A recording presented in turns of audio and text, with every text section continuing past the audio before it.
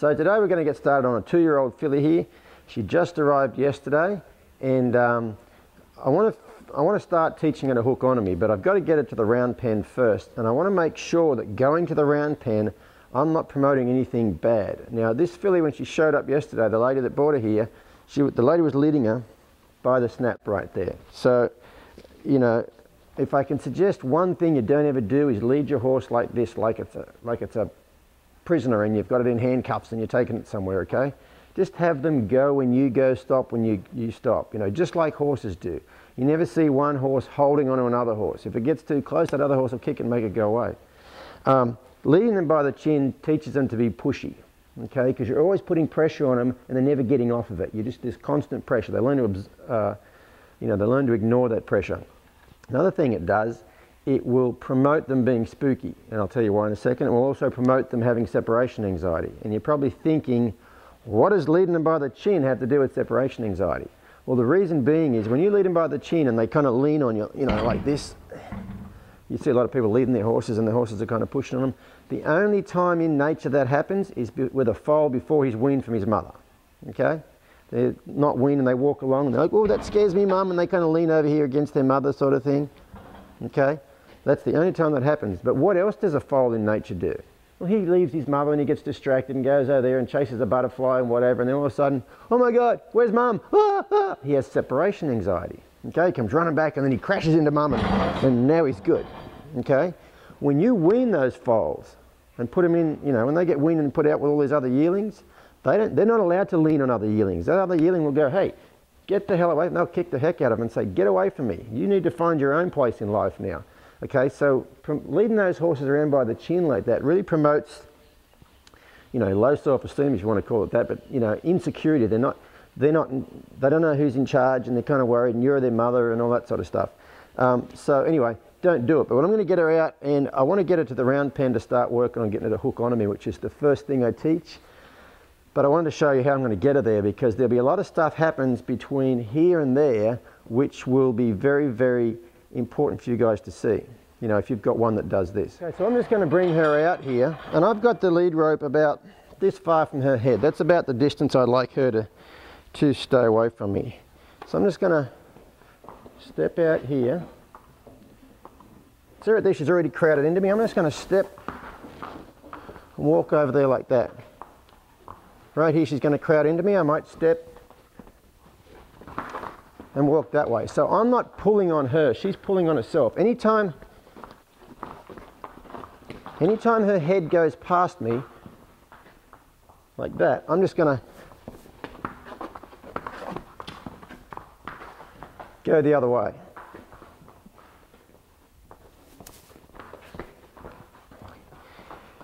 Did you notice that time was the first time she didn't actually get pulled on because she actually followed me that time.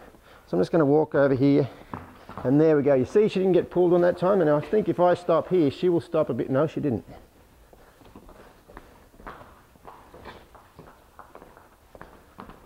She should stop a bit further back here in a minute. Now right there she just bumped into my elbow.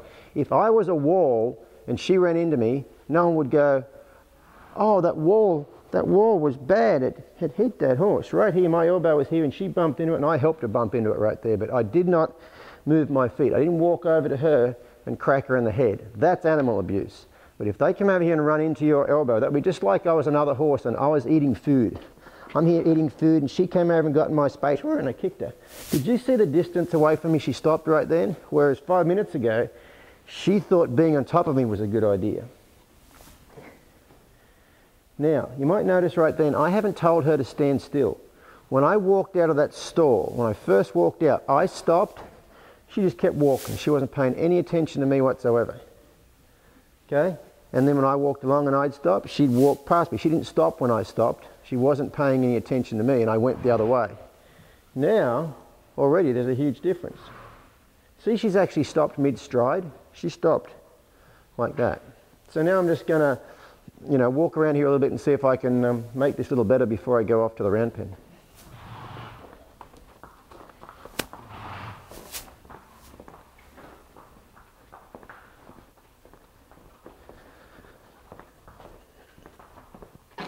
I'm just going to stop right there, and she stops back there. Can you see that's the distance I wanted to be away from me? I didn't tell her to be that distance away from me. I never said I want you to stop over there. Basically, I made the wrong thing hard and the right thing easy. When she came up and went past me, I went the other way. And pretty soon she gets to where when she starts getting close to me, I might go the other way. So she slows down and waits for me to maybe go left or right. The other thing I did making the wrong thing hard and the right thing easy was she, when she walked up into my space, she bumped into my elbow. I didn't say, get back please, can you go over there? I didn't tell her what to do. I just said, do not be here. You can find somewhere else to stand. And you can see how quickly she found another place to stand. But the big thing I want you to get out of this is, I didn't tell her to stand over there. I didn't tell her to stand still. I just said, don't be here. And the other thing I did was make her pay attention to me. You know, if, if she wasn't paying attention and I turned and walked, like that, she just ran into that lead rope. Okay? I, did,